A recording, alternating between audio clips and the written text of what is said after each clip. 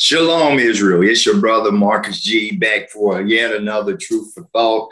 Um, as you probably can tell, I got a couple of things that have changed here. Um, I have instituted a new camera.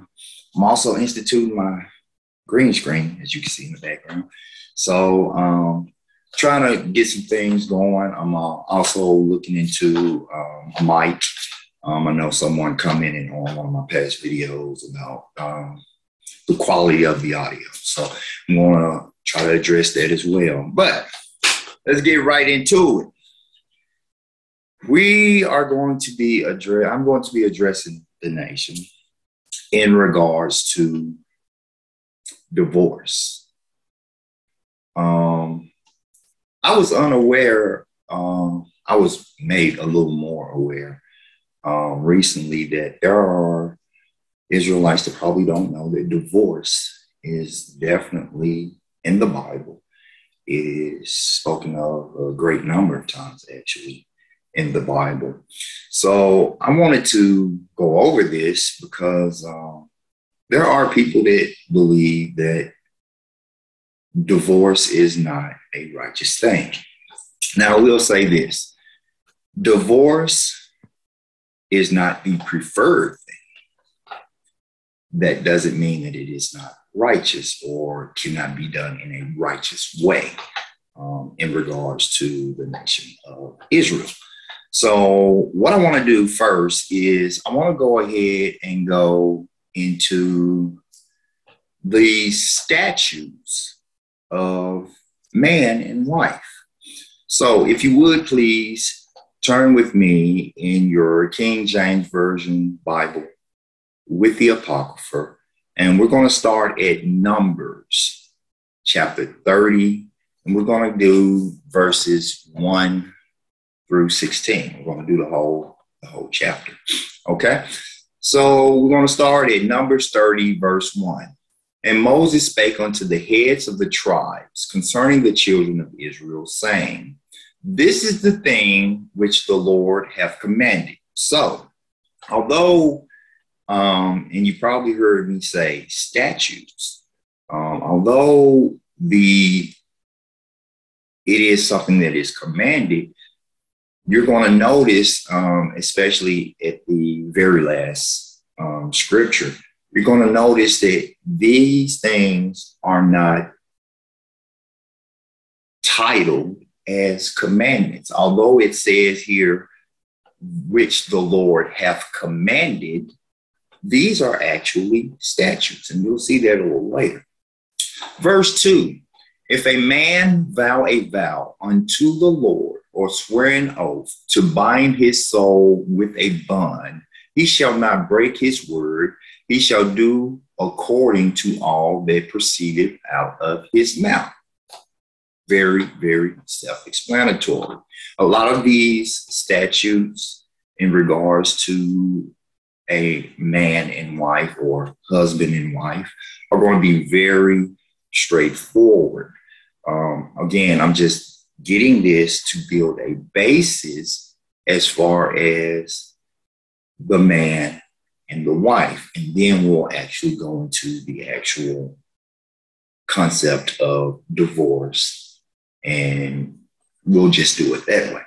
So, verse 3 if a woman also vow a vow unto the Lord and bind herself by a bond, being in her father's house, house in her youth.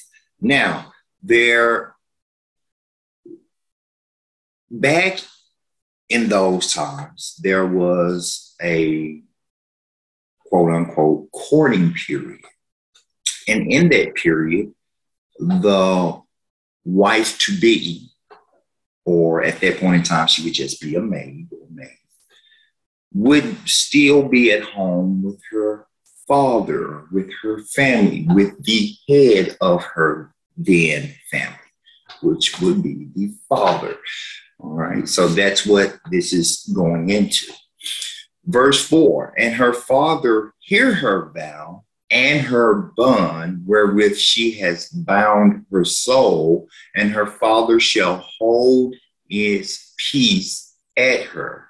Then all her vows shall stand, and every bond wherewith she hath bound her soul shall stand.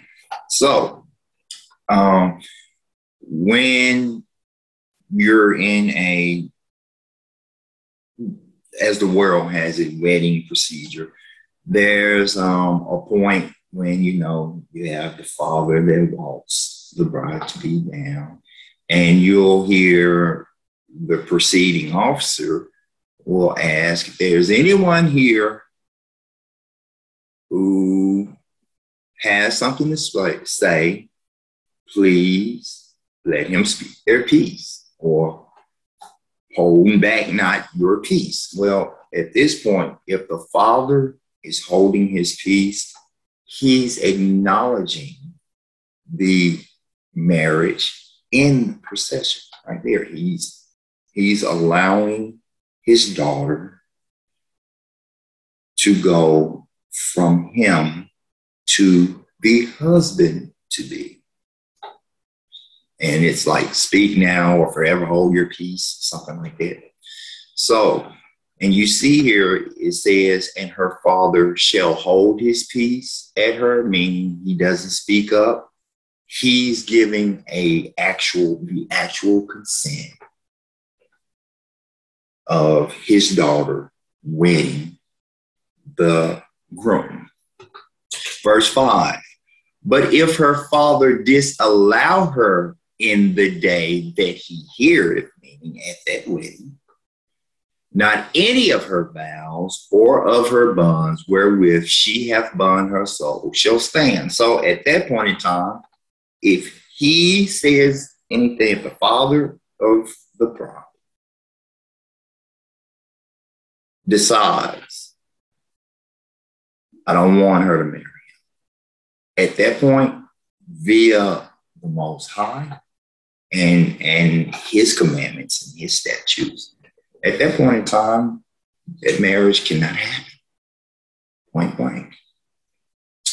And the Lord shall forgive her because her father disallowed her.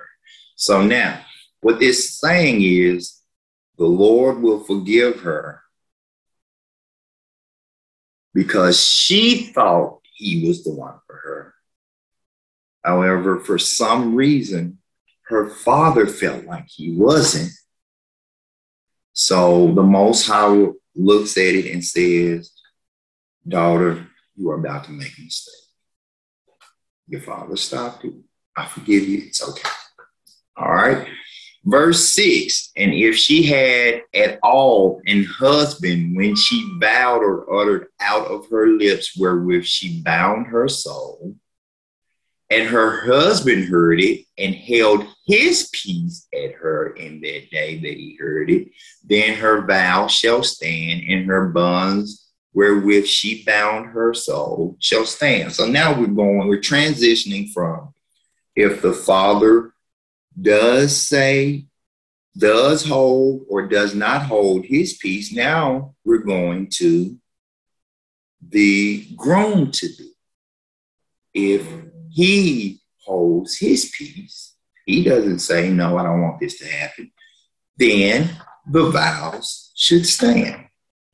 But if her husband disallowed her on the day that he heard it, then he shall make her vow which she vowed, and that which she uttered with her lips, wherewith she bound her soul of none effect, and the Lord shall forgive her. So again, just like with um, the father of the bride. If the groom to be of the bride to be disallows it, it has no effect. And again, the Most High will um, excuse her because she thought he was the one for her. He felt like he wasn't the one for her. And he basically, daughter, again, not to make a mistake, he, as a man, disallowed it. So it's okay. That mistake is all right. I'm overlooking that. All right. But every vow of a widow and of her that is divorced, wherewith they have bound their souls, shall stand against her.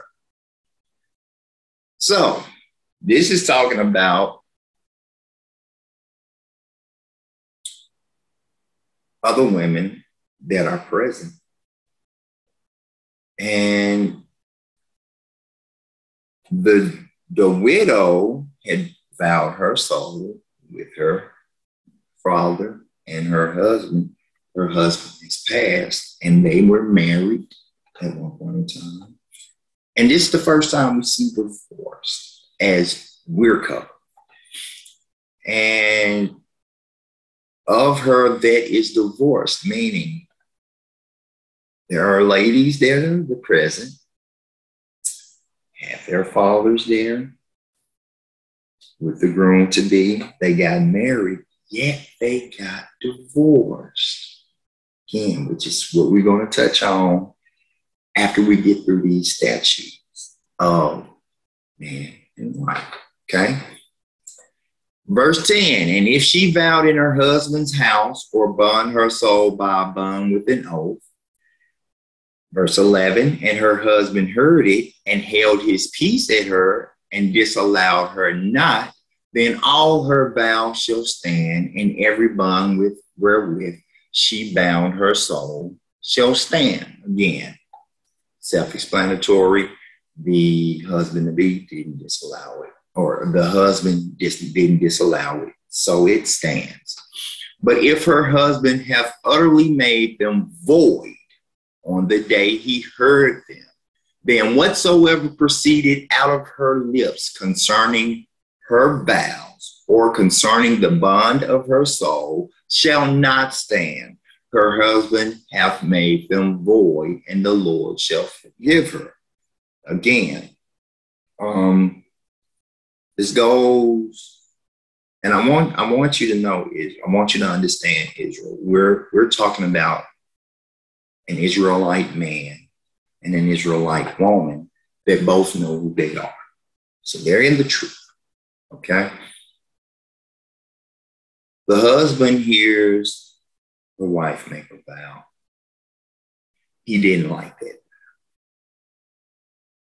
He said he, in his mind, he wants that vow to be a void. Because of that, it is so. And the Most High still will forgive her of that vow. All right. Every vow, verse 13, every vow and every binding oath to afflict the soul, her husband may establish it, or her husband may make it void. So I want you to think about the hierarchy or the order of the true Israelite household. And the hierarchy is as follows First, there's the Most High, then there's the Son, or Jesus, or Christ, or Yahweh, however you, um, however you, you know, speak of him, his name. Then there's the king or man. Then there's the queen or woman. And let me go back the king or man or husband. Then there's the queen or woman or wife. Then there are the kids or prince, the princes, and the princesses. All right, so that's the hierarchy of it. So, and that's in a, again, an Israelite home that is righteous that is keeping the law, statutes, and commandments. Again, these are statutes. All right. Verse, we left off at verse 15.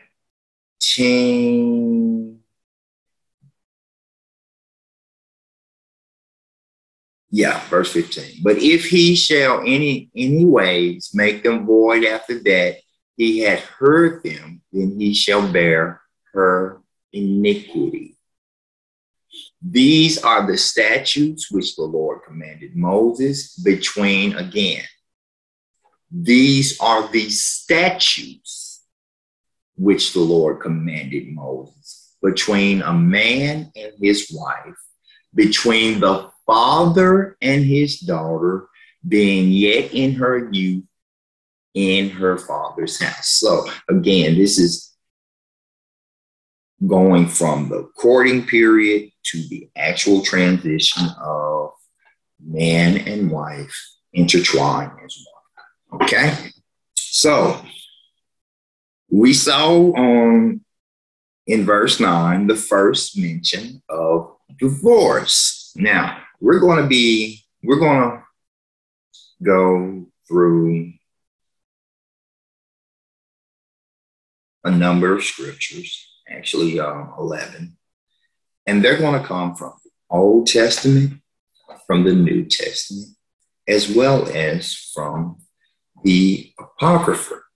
So, seeing that we now know the statutes of man and wife, um, both from the very end of the courting period into them being intertwined, it's one.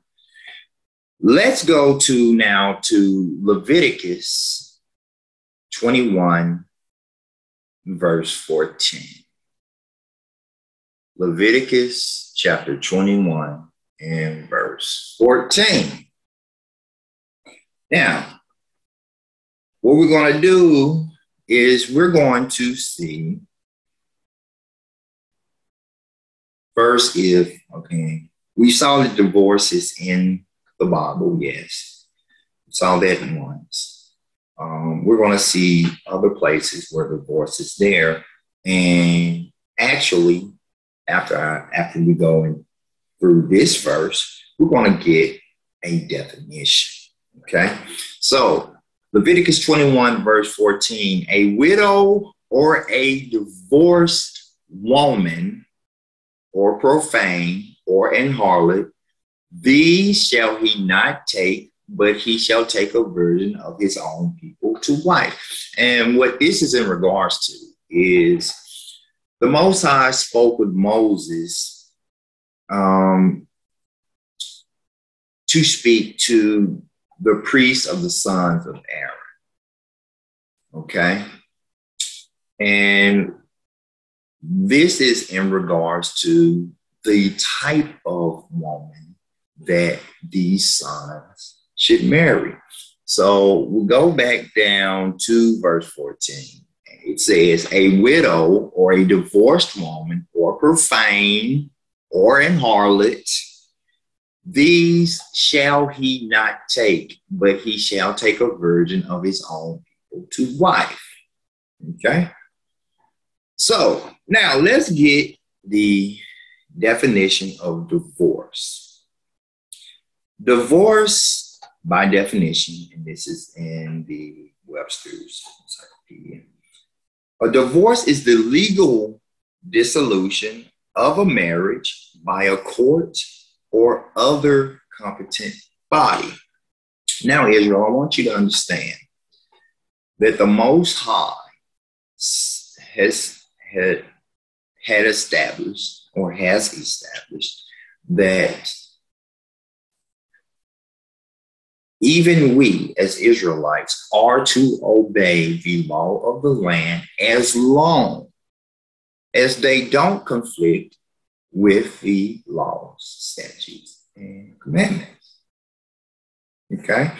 So, a divorce, be it per the law of the land to avoid polygamy, uh, the crime of polygamy, it does not conflict with the law of the land because the reason for divorce in the law of the land is to avoid polygamy. Okay? Um, polygamy is not a thing. If you are truly an Israelite. Now, I know a lot of folks like to say, well, what about um, King Solomon? King Solomon had all these wives and concubines. And you know what? I'm on, I'm on, I want to go to it. I want to go to that for a reason. I want to go to that for a reason. So if you would, let me pull that up.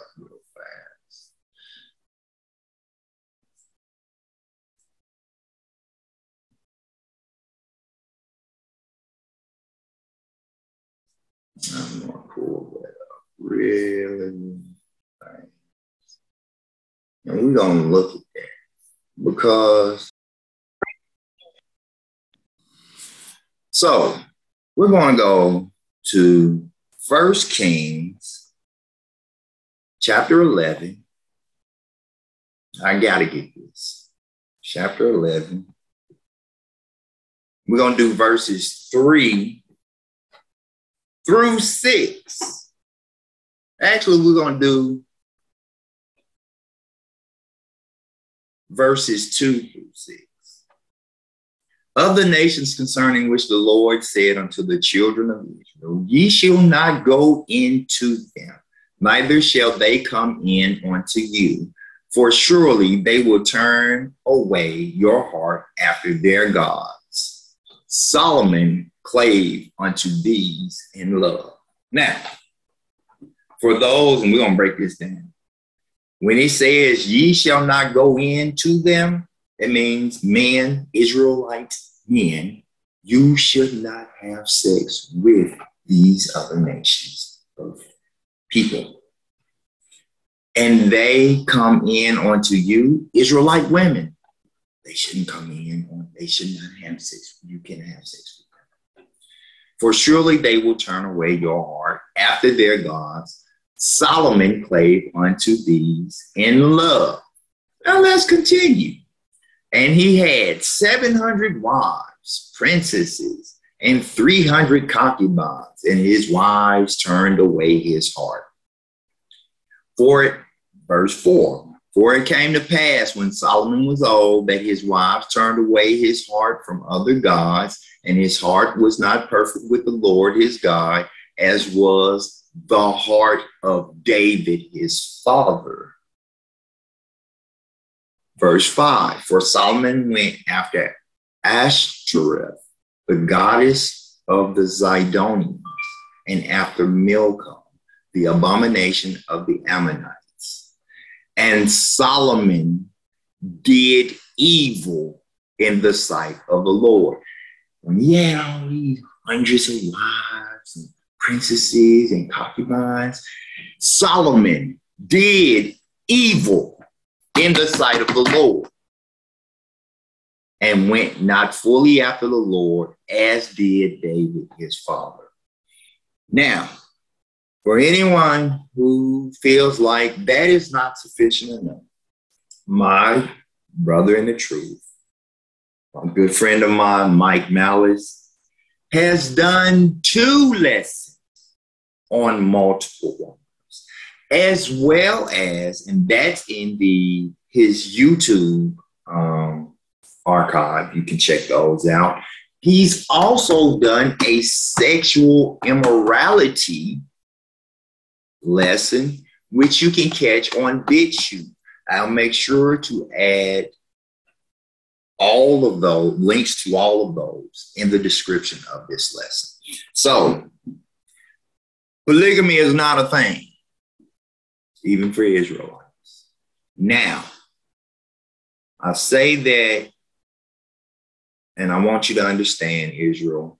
However, there is an instance where you can have multiple wives. I want you to understand, Israel, we don't meet those conditions.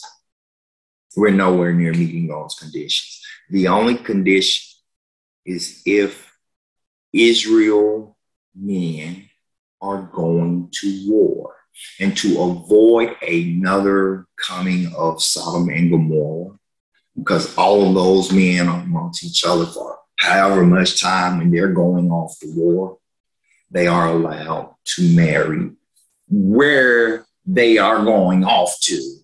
But when they come home, it's business as usual. It is not bring her home with you. You go home, it's business as usual. The only time. The only time. Now, we don't meet those because we're still in captivity. this is not, that is Israel when Israel was not the base. And we, we never were the base, but we weren't sitting under the base and base people, meaning all the other nations, but definitely meaning Esau and Edom, the nation Edom. We don't fit that criteria. So for those that say they want to have multiple wives, I will tell you, per the scripture, at this particular point in time, you are incorrect. Now, we were at war and you were saying, you know, while we was out at war with whatever nation it may be, and this is just a hypothetical scenario. I did with a lady. It's understood that that is to avoid another Sodom and Gomorrah. But when you get back to the house, that's it. You return to your wife. Okay? I too might do a, a, a lesson on multiple wives um, because there are people that are taking that, that which I just said. See, see, he said, he said, yeah, I did say, given that instance, which we nowhere near meet, I did say that because it is written. That is in the Bible. You find that in the Bible. But I don't want to go too far off subject. So we're going to go we were we we visited Leviticus 21 and 14. Um, now I want to visit Leviticus 22 and 13. I'm sorry, um, Israel. I just had to get that. Um, I'm sorry. Even the Most High said he did um, in the times when he was doing it. Um, and a lot of people say he did evil because he went away from the Most High. No, that's not the only reason. Yes, that was an evil thing to do, but you are to only have one life. To have multiples if you're now doing evil. Okay? So we're going to go to Leviticus 22 and 13. We're going to see here that divorce is mentioned again. Again, I gave you the definition of divorce. So let's see Let's see what, what it says. Leviticus 22 and 13. But if the priest's daughter be a widow or divorced and have no child, and return and is returned unto her father's house, as in her youth, she shall eat of her father's meat, but there shall no stranger eat thereof. Remember, back in number, we were looking at the transition of the bride, the man and the bride, and the transition from the courting period, which she's still in her father's house, and it's it should have been in her youth when she was a maid or maid. And now this is saying she has been returned to her father's house as she was in her youth. So, but it says divorce. Also, it talks of the widow. Okay, so we know that the widow is the the, the wife whose husband passed. Okay, so let's go from there to Deuteronomy still Old, Old Testament, Deuteronomy 24 and 1. All right, Deuteronomy 24 and 1. And it reads Israel, pay close attention to this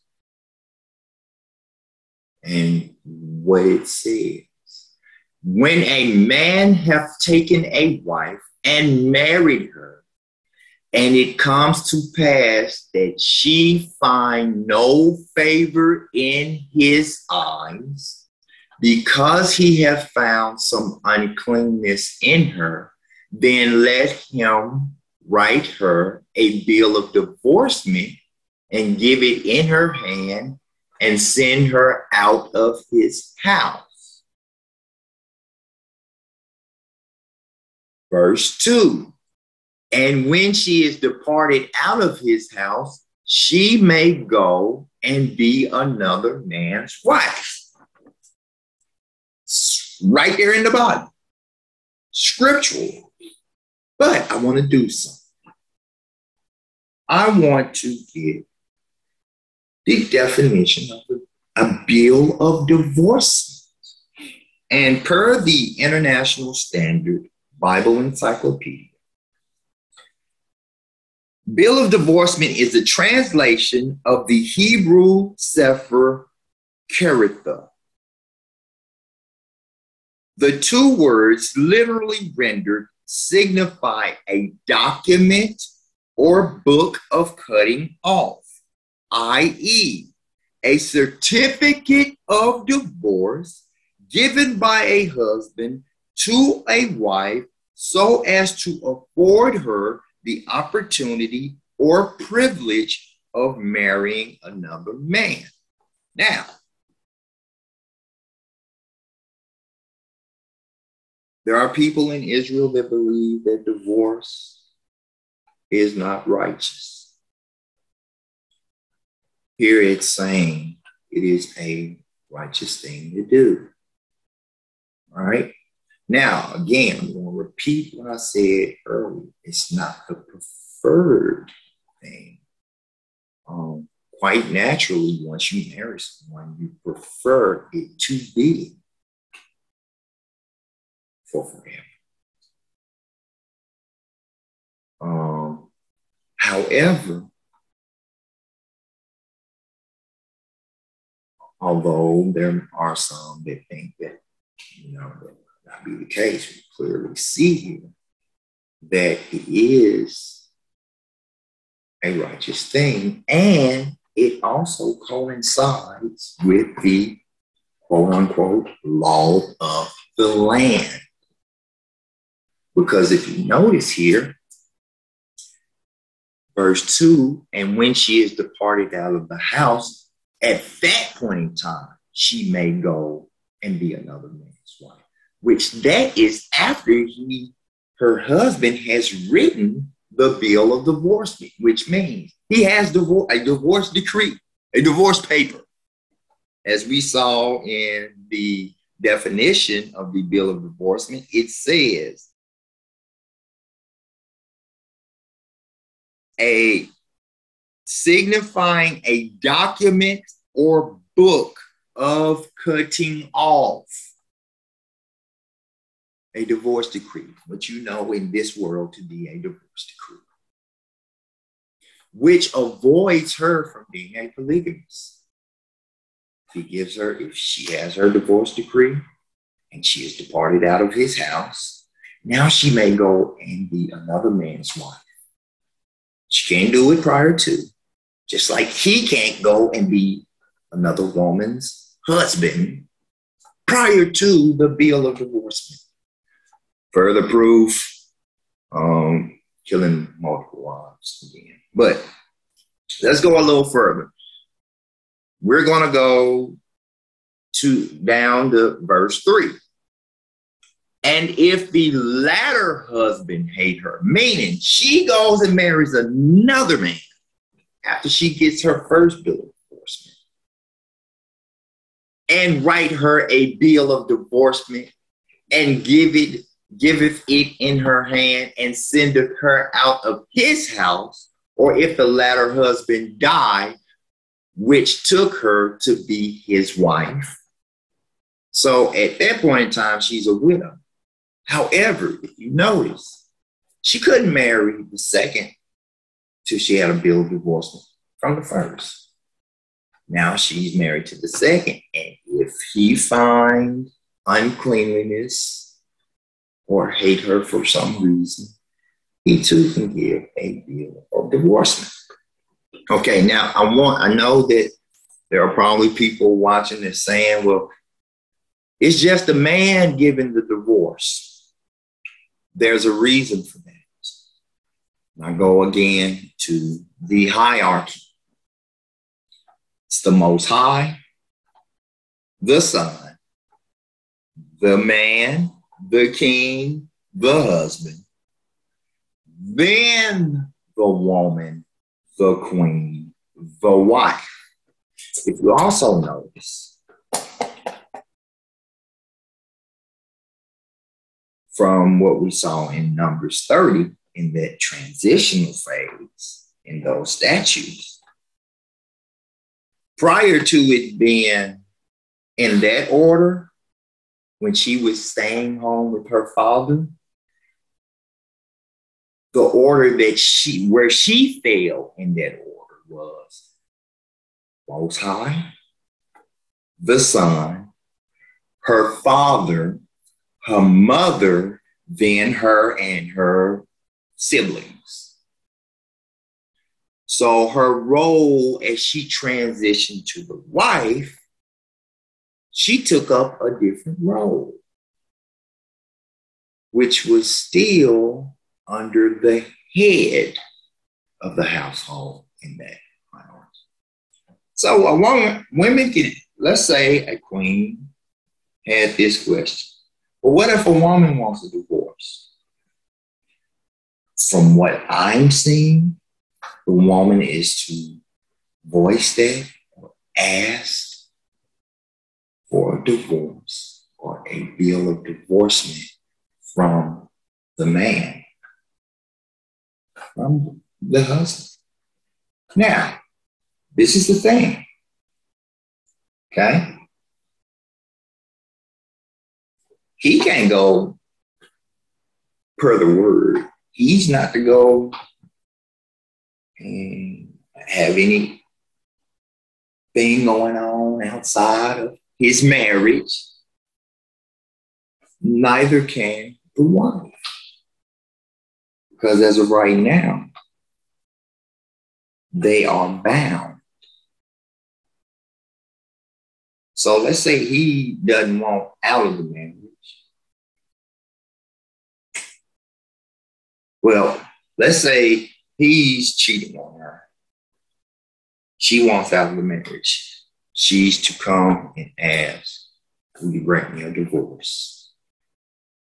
And we we saw in the definition of the bill of divorcement where it says, i.e., a certificate of divorce given by a husband to a wife so as to afford her the opportunity or privilege of marrying another man. So she wants out of it. He's doing evil out there in the world with other women. She wants out. She feels like she deserves better. She's working. So she goes about where she asks for a divorce and a bill of divorcement, a divorce decree. Okay? We're going to go from there to Isaiah chapter 50, verse 1. Still in the Old Testament, Isaiah chapter 15, verse 1. We're going to see another place where there is a mention of divorce. Thus saith the Lord, where is your mother's divorcement whom I have put away. You also want to notice put away. Um, or the husband put the wife away, thus the divorce and the bill of divorcement. And he put her away. Or which of my creditors is it to whom I have sold you? Behold, for your iniquities, having sold yourselves, and for your transgression, is your mother put away, or is your mother divorced? But yet again, we see divorcement. Um, again, this is for all of Israel. It's, you know,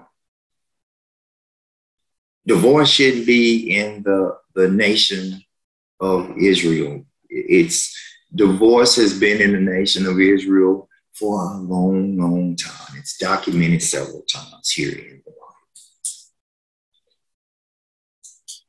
It's again not the preferred thing.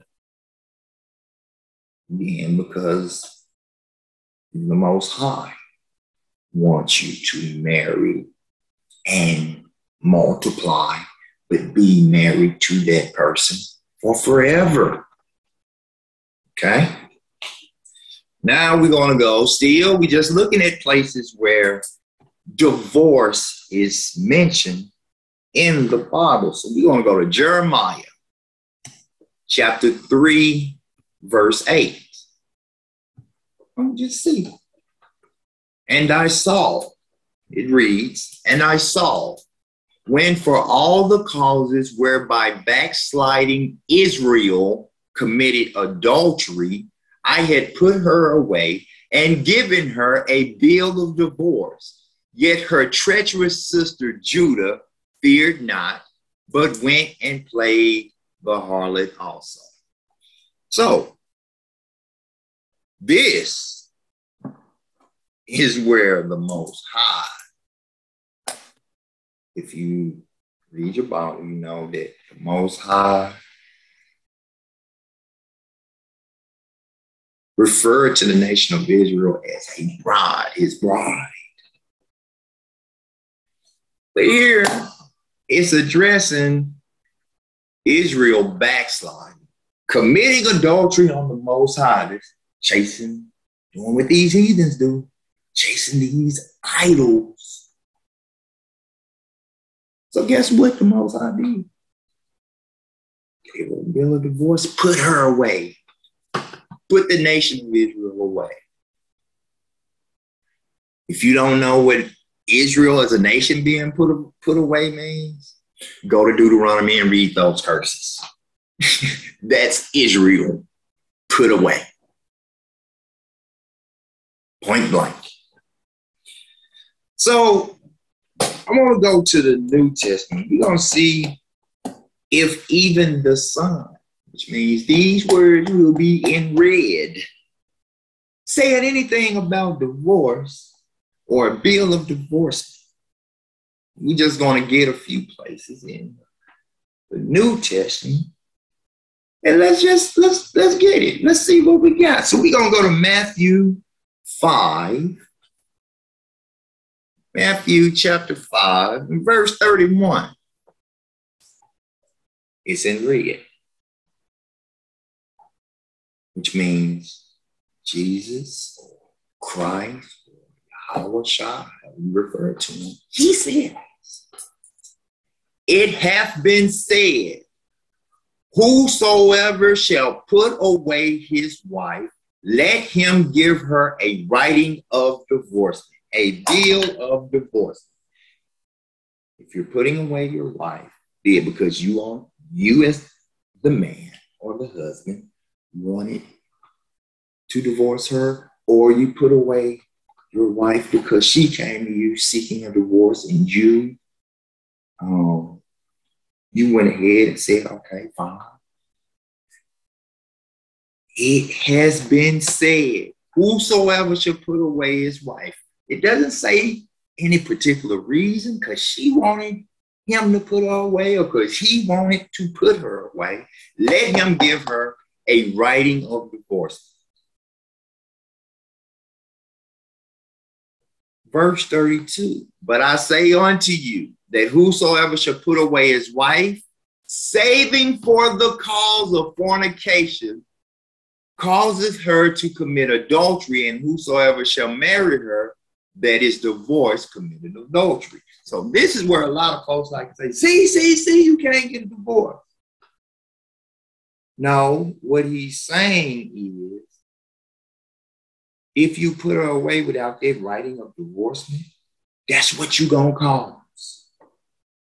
It's gonna cause fornication, it's gonna cause adultery. It can be for the man, for the husband, if he don't get that writing of divorcement or bill of divorcement. He say, fine, I'll divorce you. Then just walk out the door and go, go have sex with uh, Miss Jones down the street. At that point in time, guess what he's doing? Fornicating, committing adultery. You know why? The writing of divorcement has not been established. The bill of divorce has not been established.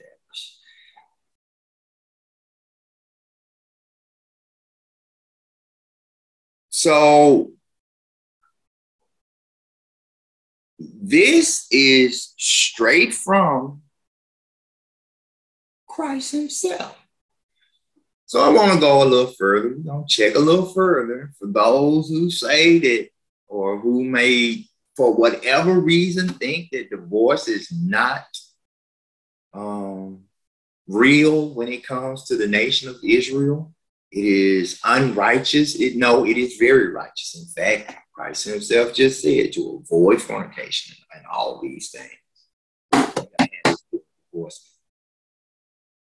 Meaning, Cain, if you put your wife away, it because she wanted you, she she asked for the divorce, you granted it, or you just wanted a divorce.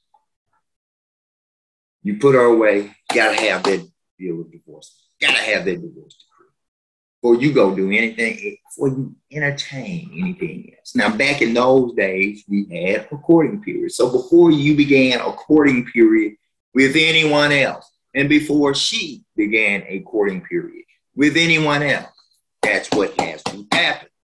Very righteous, not the preferred thing, but it is a righteous thing to do when done the correct way. All right, let's go to Mark again. Still New Testament. I'm gonna get ready to wrap this up. I'm gonna go to Mark chapter 10, verse 4. And they said, Moses suffered to write a bill of divorcement and to put her away. Moses, he didn't want to do it. It hurt him to do it, but he did it. Wrote a bill of divorce to put her away.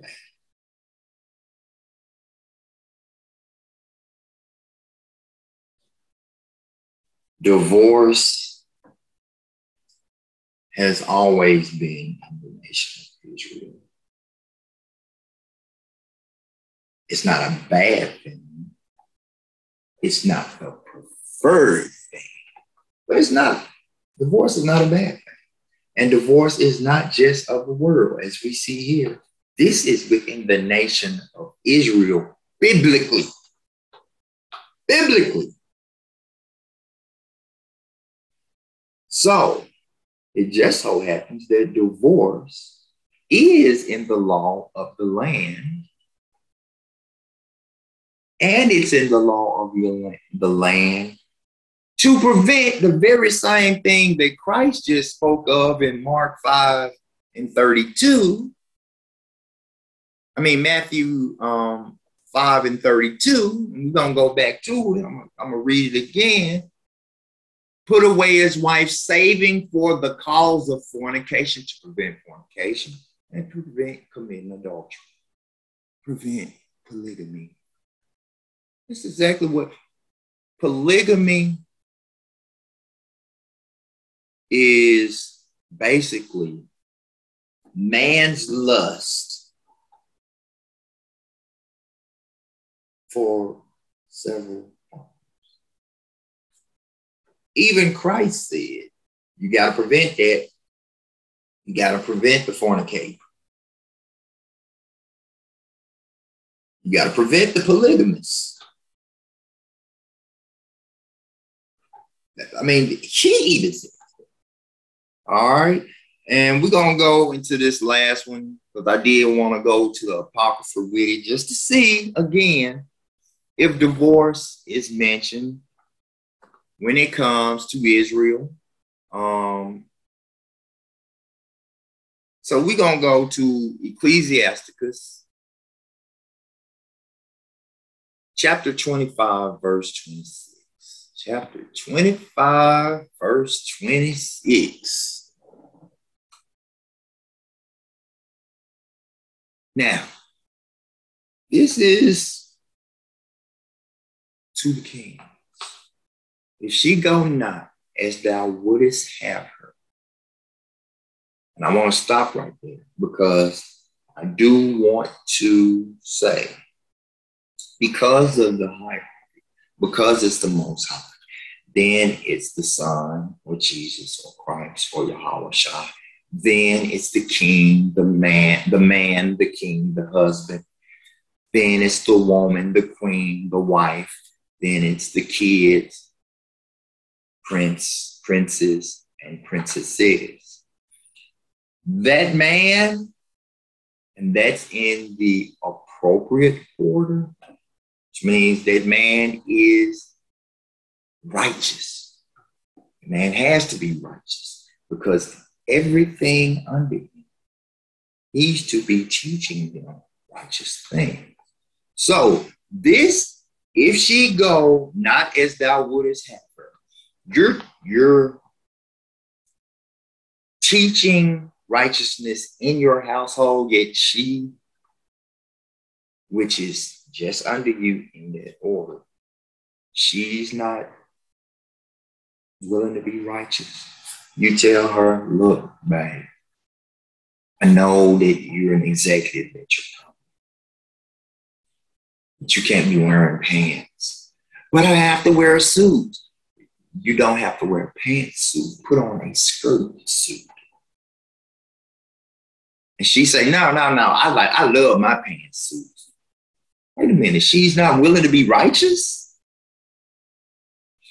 if she go not as thou wouldest have her, cut her off from thy flesh and give her a bill of divorce and let her go.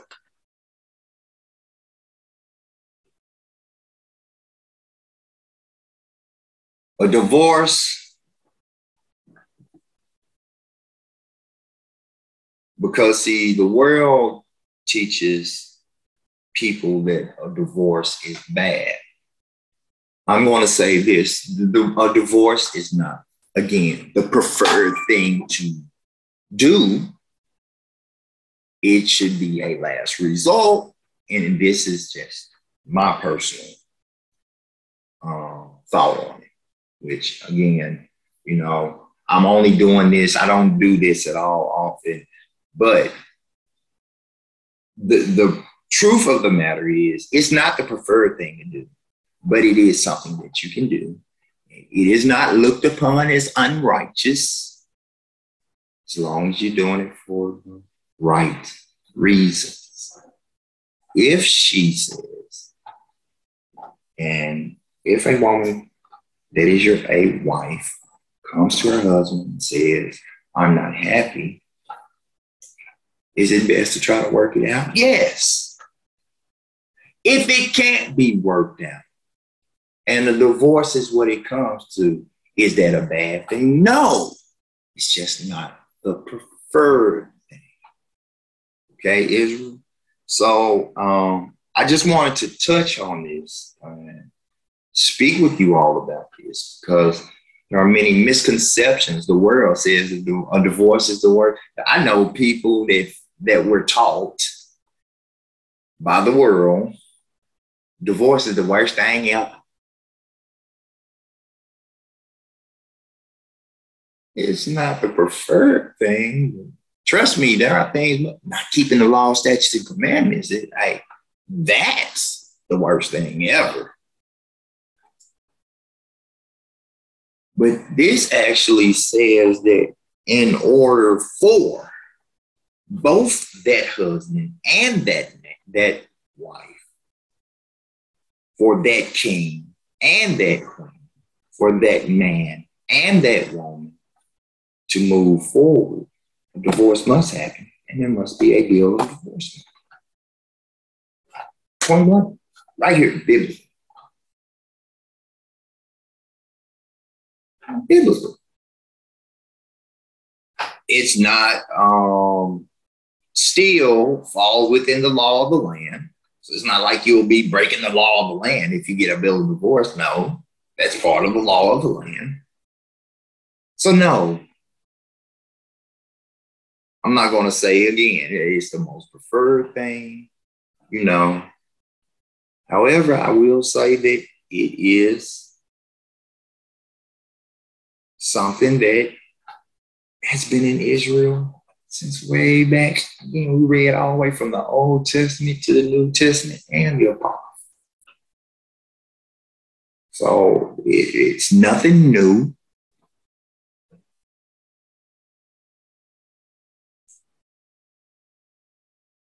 There's nothing bad said about it outside of if you don't get that bill of divorcement, then you start doing some bad things because at that point in time you start to commit fornication, you start to commit adultery. Until that that bill of divorcement is there, now you're doing wicked things. So the divorce is actually there to avoid you doing wicked things. All right. So I'm hoping Israel that it kind of clarifies some things for for our nation because again, there are people um, in the nation of Israel that they didn't even know that divorce was even in the Bible. It's there. In fact, I came out of pretty much everywhere that it is mentioned in the Bible. And hopefully this enlighten you on what a divorce is biblically outside of that which the world sees a divorce. All right. So with that said, till next time, Israel, Shalom. You have a good Sabbath.